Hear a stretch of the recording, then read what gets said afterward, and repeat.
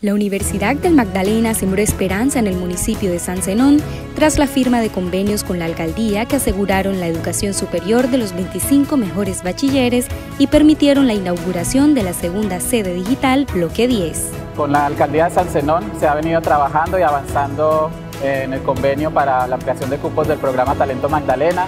Entregamos las becas a los estudiantes, los certificados a a los 25, digamos, nuevos estudiantes de la Universidad Magdalena. Hoy nosotros inauguramos la segunda sede digital en el municipio, lo cual nos convierte en el municipio pionero en el tema de educación porque estamos apuntándole a una verdadera revolución educativa. Estoy agradecida con la universidad porque me han dado ese apoyo.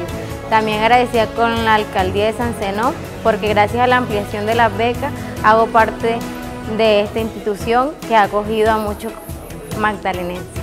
Los acuerdos también contemplan la apertura de servicios virtuales del consultorio jurídico y centro de conciliación y del consultorio empresarial y contable de la Alma Mater para la atención de la población de San Zenón. Para el consultorio jurídico es una oportunidad grandiosísima porque es la apuesta de que nuestros servicios de asistencia y asesoría jurídica puedan pues traspasar las fronteras de Santa Marta y llegar hasta los municipios de pronto eh, más retirados de la capital del departamento de Magdalena y de esta manera pues ese servicio social que se presta a través del consultorio jurídico pueda tener un alcance aún mayor, sobre todo en las comunidades vulnerables que se dan en las zonas rurales de los municipios del departamento.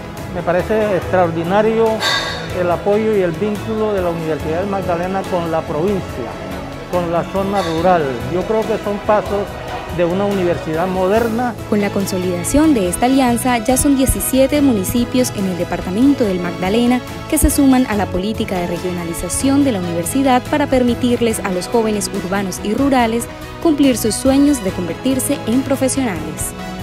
Universidad del Magdalena, aún más incluyente e innovadora.